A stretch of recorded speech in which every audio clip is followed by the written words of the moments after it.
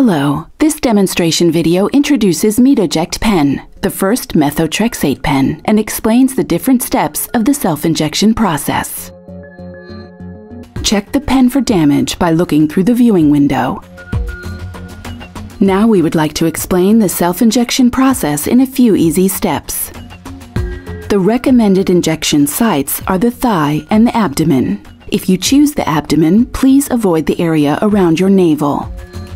Choose a different injection site each week to help prevent possible skin reactions.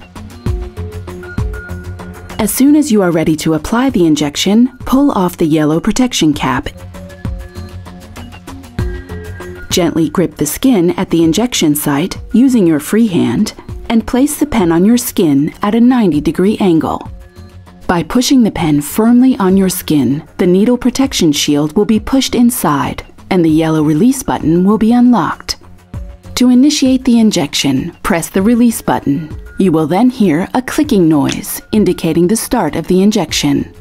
Hold the pen firmly on your skin during the injection process. The entire volume will be injected within 5 seconds.